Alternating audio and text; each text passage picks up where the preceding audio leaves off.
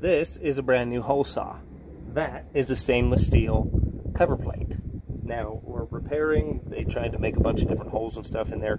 That's not really the concern. The concern is that we need to drill through it and get a conventional lever lock mounted on there. That's the point. I'm going to show you why you always need to make sure that you have carbide bits, hole saw bits in the appropriate sizes on your truck.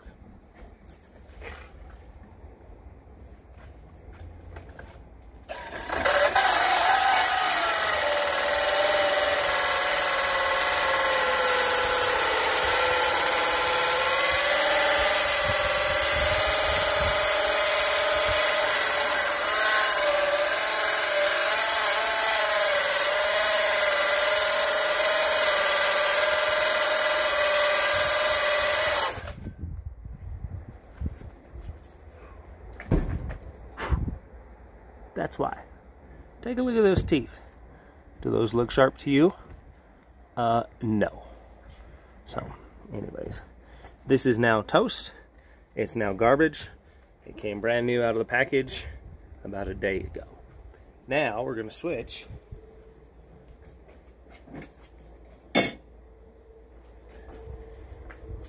and say hello to my little friend Carbide. Lenox carbide tip, two and an eighth inch hole saw. Okay? Click. Take a look at the teeth. Teeth look sharp. You've got little carbide inserts on there. These bits work great. You just need to make sure that you have them on the job site when you need them because they're not easy to come by and they're not readily available at the hardware store. I have to special order these. Now, absolutely no success drilling through that.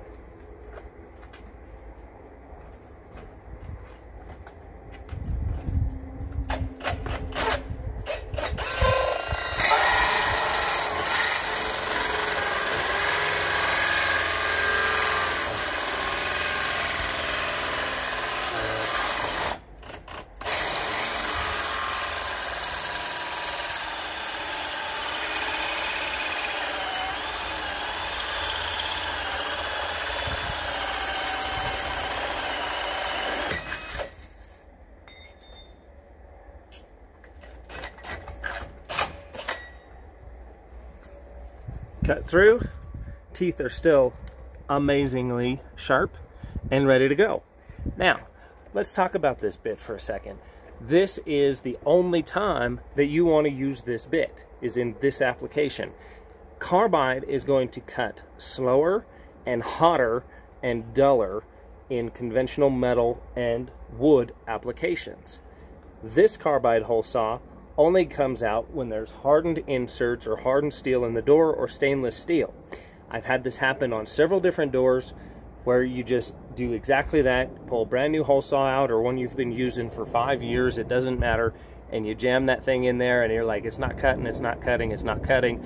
You get about 30 seconds to a minute of drilling and you haven't popped through the other side, time to check your bit. If it's smoked like that one was, time to get a new bit. This solves the problem. Being able to have this and just pull it right out of the bag, pop it right on, and be ready to go is the difference why I'm getting this job done in 15 minutes and anybody else is going to have to go run to the store and take another and add an hour to the job. So for more information, check out wayneslockshop.com. Thanks for watching, guys.